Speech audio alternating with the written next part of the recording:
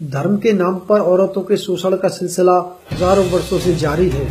आज भी ना जाने कितने बाबा, स्वामी और धर्मगुरु बड़े बड़े सेक्स स्कैंडल में फंसे हुए हैं। मीडिया में रोज़ाना इनके काले कारनामे उजागर होते ही रहते हैं। देवदासी हिंदू धर्म की एक बहुत ही पुरानी प्रथा है।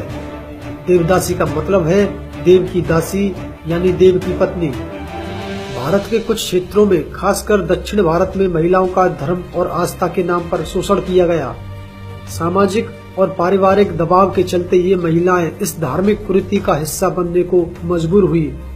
इतिहासकारों के अनुसार देवदासी प्रथा लगभग छठवीं सदी में शुरू हुई थी। ऐसा माना जाता है कि अधिकांश पुराण भी इसी काल में लिखे गए।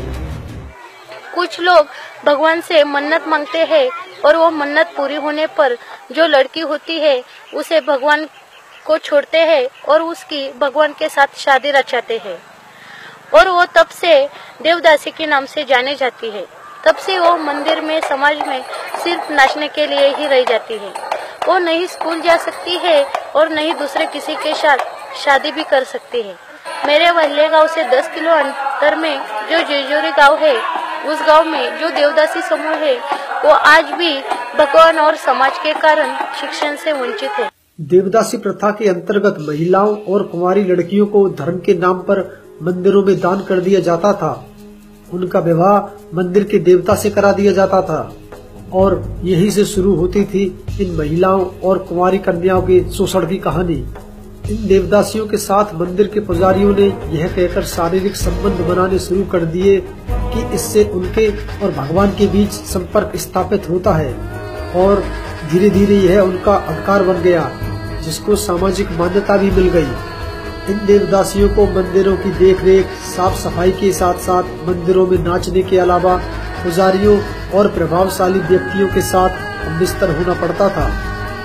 कालिदास द्वारा लिखे गए काव्य मेघदूत में भी मंदिरों में नृत्य करने वाली आजीवन कुमारी कन्याओं का वर्णन मिलता है। जो शायद देवदासियाँ ही रही होंगी। इसके अलावा मत्स्य पुराण और विष्णु पुराण में भी देवदासी प्रथा का उल्लेख मिलता है। यहाँ ध्यान देने वाली बात ये भी है कि ज़्यादातर देवदासियाँ समाज के गरीब और निचले तबके से आती थी। प्रसिद्ध लेखक डुबॉइस ने अपनी पुस्तक Hindu manners, customs and ceremonies में लिखा है कि प्रत्येक देवदासी को मंदिर में नाचना गाना पड़ता था। साथ ही मंदिरों में आने वाले खास मेहमानों के साथ उसे सोना पड़ता था गूगल सर्च करने पर आपको बहुत सारे लेख और खबरें इस बारे में मिल जाएँगी इस मुद्दे पर कई फ़िल्में और डॉक्यूमेंट्रीज भी बन चुकी हैं। लेकिन बड़े ही आश्चर्य की बात यह है कि भारत में इस प्रथा को गैर कानूनी घोषित किए जाने के बाद भी दक्षिण भारत के कई मंदिरों में यह प्रथा अभी भी जारी है वहीं सरकारें भी इस प्रथा पर पूरी तरह रोक लगाने में नाकाम साबित रही हैं।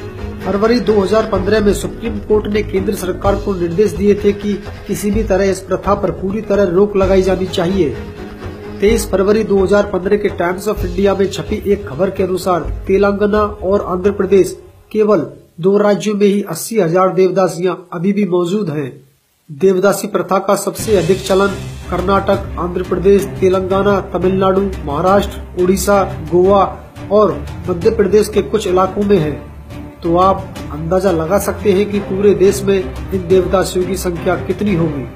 हमारे देश में जहाँ एक और महिलाएँ कार ट्रेन मेट्रो से लेकर हवाई जहाज़ तक उड़ा रही हैं, वहीं दूसरी तरफ़ महिलाओं का एक तबका इस देश में आज भी देवदासी के रूप में मौजूद है जिससे एक ही देश के अंदर इंडिया और भारत के बीच का अंतर पता चलता है।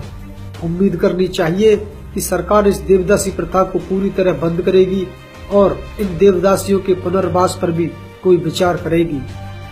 अगर आपको भी हमारा वीडियो अच्छा लगा हो तो इसे लाइक और शेयर करना ना भूलें।